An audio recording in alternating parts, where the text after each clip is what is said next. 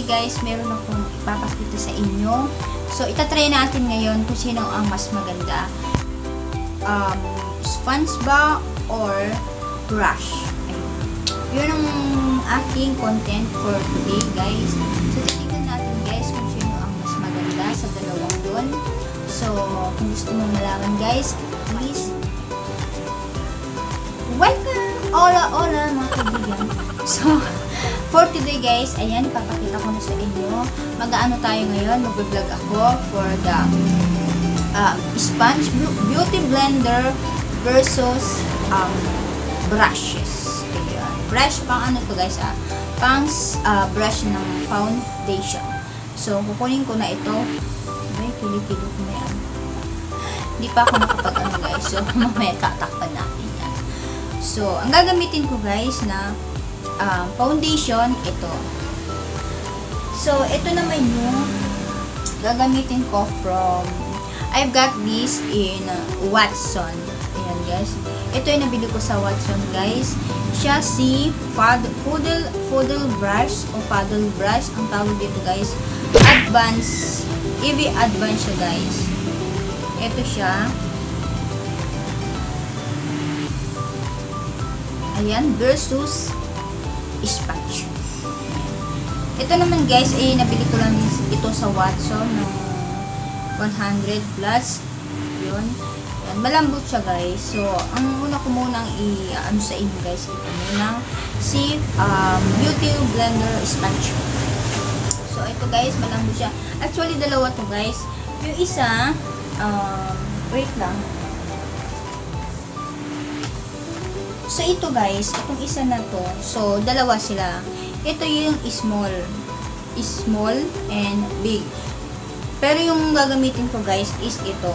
Pang, pang blend sa um, foundation. So, tingnan natin guys kung sino ang mas maganda gamitin sa pag-blend ng foundation. Pero ito guys, ginagamit. Ito yung unang-unang unang-unang kong nabili sa Watson guys. Super late niya kasi ito. Matigas siya guys. Talaga namang super, ano siya, hindi siya, maano. Dito ko lang siya ginagamit guys pagka mag-a-apply ako ng concealer. So, ang gagamitin ko guys, ito. Ang gagamitin kong foundation guys ay itong si Pura. Ito yung pinaka-favorite ko guys na foundation. So, tingnan natin kung sino yung magandang up, pang-apply, ha? So, maglalagay ako dito sa kamay.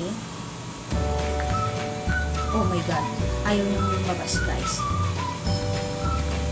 Ayan. See, ayan. So, i-dump natin siya guys. Ito sa guys, super lambot niya siya oh. Baka super lambot niya. Pang, hindi ko alam kung ang YouTube blender ba to or what. Kasi maraming klase naman ang sponge care. Ang sponge pwede. Meron dito di ba guys yung pag siya. Ayan, may mga ganun. Ito beauty blender ito. So, maglagay na tayo. Tingnan natin kung sino mas maganda. So, sa pag-a-apply nito.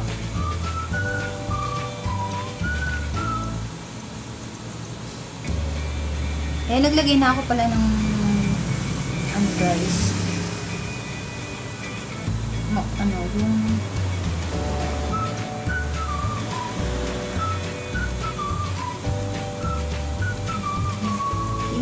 sino sila. Ito muna guys, itong si si sponge dito sa kabila. Itong sa kabila naman ay si brush ng EV. Ayan, dito ko sa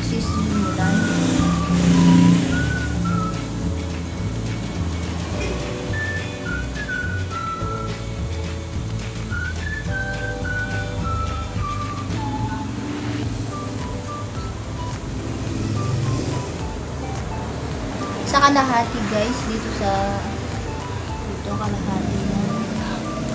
So, yung unang apply mo pa lang guys, super duper, hindi siya hindi siya talagang tawag doon, nagbi-blend agad guys. Ayun. Hindi siya agad nagbi-blend.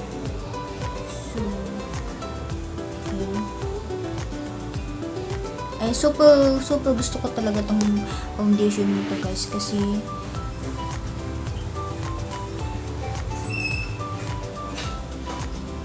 ayan. Ito yung, ito yung sa, sa kabila guys ah.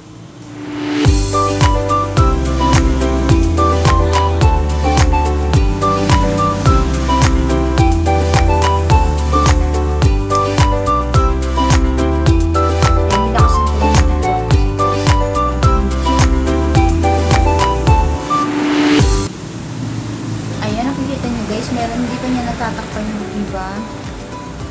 So, ayan, may mga, ano pa ako ng acne, acne scars. Nakikita nyo ba guys? So, ayan siya guys, tingnan nyo. Ayan, napupunta siya lahat dito sa sponge. Ayan. Imbis na, in case na madaming mapunta rito sa mukha mo, yung ibang, yung ibang ano guys, yung ibang foundation, kinakain niya. Kinakain ng sponge. So, kailangan basain mo siya ng konti. So, ito guys, hindi ko pa pala ito nabasa.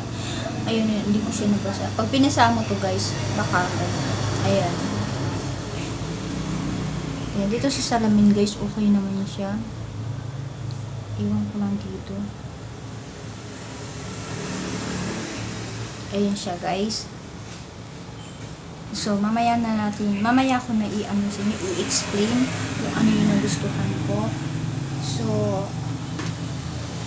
and next naman natin guys, um, C, brush ng AB Advance.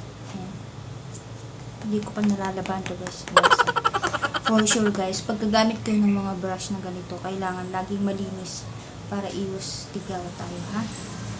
So, ito naman si Advance. Ito nabili ko to rin guys sa Watson. 150. Ayan yung itsura niya. Maganda naman siya guys. Pero try din natin. Kung maganda siya.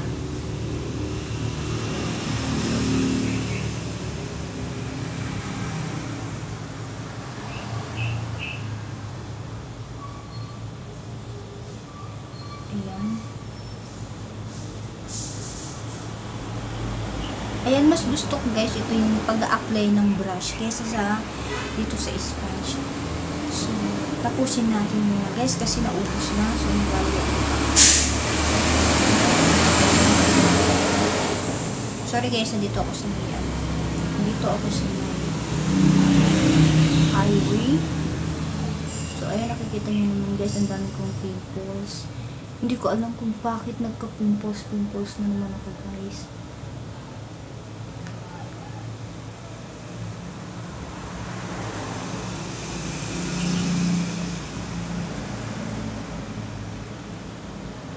Ayan, meron nang nanalo guys. Meron nang nanalo. Uwian na. Ayan, ang ganda ng finish niya guys. So, tapusin ko lang sa inyo kung sino nanalo sa dalawa na ito. Ayan, super, super duper ano na yung aking mukha. Ah, super duper puti na yung mukha ko guys. Ayan mga kabeshi. So, ah, ayan. Pag nilagay mo naman sa brush, guys, ayan, super.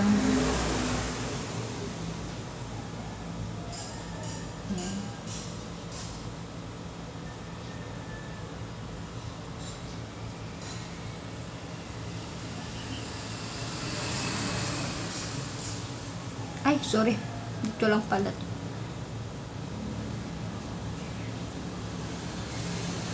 Ayun guys.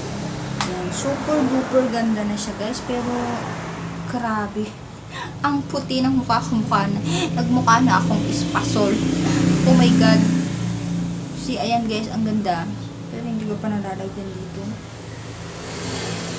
Grabe guys, ang puti ng mukha ko. Lalo pumuti yung mukha ko dito sa ilaw na nabili ko.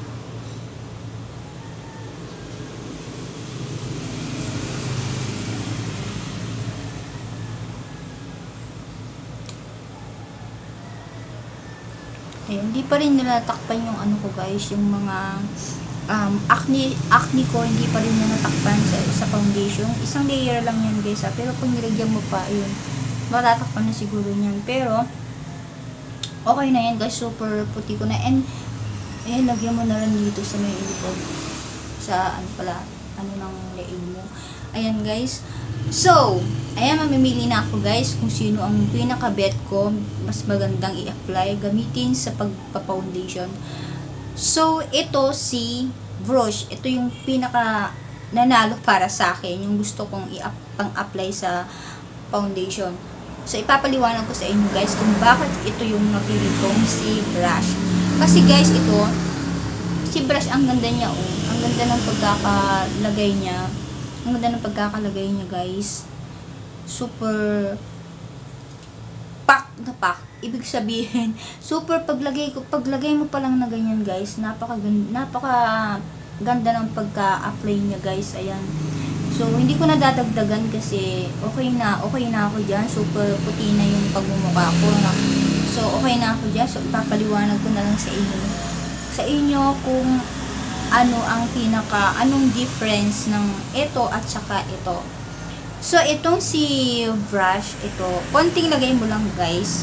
Konting lagay mo lang siya. So, nabiblend talaga siya agad. And, um, hindi siya matakaw sa foundation. So, nailalagay niya lahat yung foundation sa iyong mukha. At naibiblend niya ng maayos. Ang ganda ng pagkakablend niya guys. Pagka ganito yung ginamit mo sa iyong um, mukha sa pag-blend ng um, um, foundation. So, ito yung nanalo para sa akin kasi ang ganda niya. Ganda ganda ng pagkaka niya guys. Pagkaka um, apply niya ng foundation. So, yung foundation na yun, pinaka-favorite ko na gamitin yun guys. Kasi, um, hindi siya mabigat sa mukha and uh, nasatakpan niyo yung mga uh, redness sa iyong face. So, hindi ko naman, okay lang din to guys. Si, uh, ito, si Sponge Beauty Blender. Ang hindi ko lang nagustuhan dito guys, ay nangangain siya ng um, foundation. Ayan, kinakain niya guys. So, pag nag-apply ka, pag in-applyan mo siya guys, ayan, kinakain niya. So, nat ang nangyayari guys, um, yung mga yung mga foundation pumapasok sa loob. So, pagka nag-blend ka na ng ganyan, hindi konti na lang yung mapupunta sa face mo. So, hindi niya na natatakpan ng mabuti, hindi niya na nag-blend ng mabuti. For me lang ha, for me lang ha, from, for um, this one, versus, di ba ito, di ba, di ba siya. Pero pinaka okay para sa akin is itong si um, even ng advanced paddle brush. Ito. Ito yung pinaka gusto ko kasi nagbi-blend niya ng maayos. Nagbi-blend niya. Ang bilis niyang ma ang bilis, ang bilis niyang maka-blend, guys.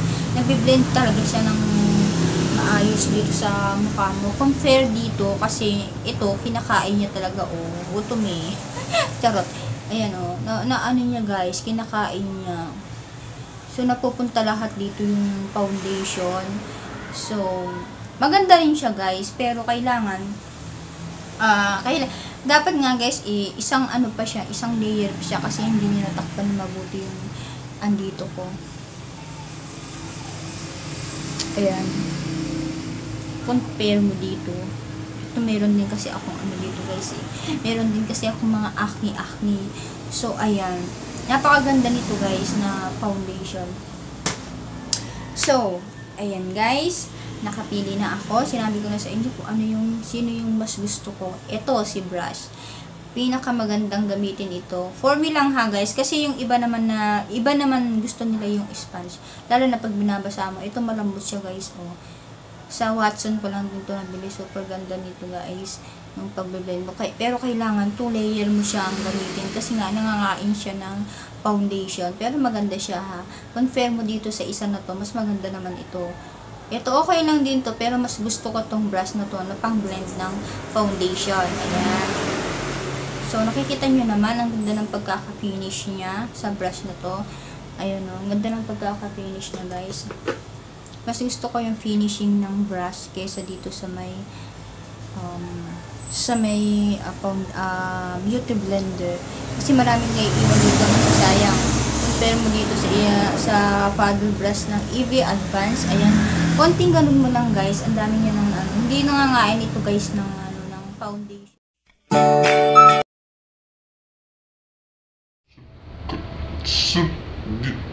ano? Take to take to tayo. Ilalagay ko na lang dyan guys sa subscription ko sa baba yung mga presyo ng mga ginamit ko.